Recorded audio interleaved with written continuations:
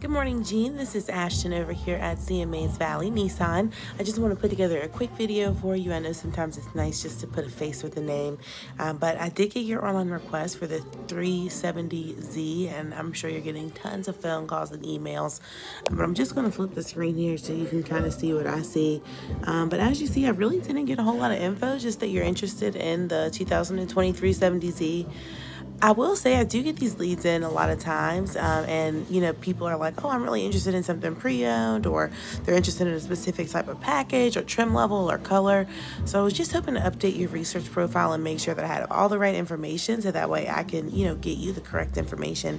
I also just wanted to kind of see where you are on things. I know a lot of times people are still in the early stages, uh, but then you have some people who are ready to do something relatively soon. So of course, the process is going to be a little different depending on where you are on things. So please give a shout. Just let me know. I am going to give you all my contact information in my signature right below this video. So it's going to include a direct line as well as a number to text me at. And of course, you can email me back as well. Um, so I look forward to hearing back from you and uh, we'll talk soon. Thanks.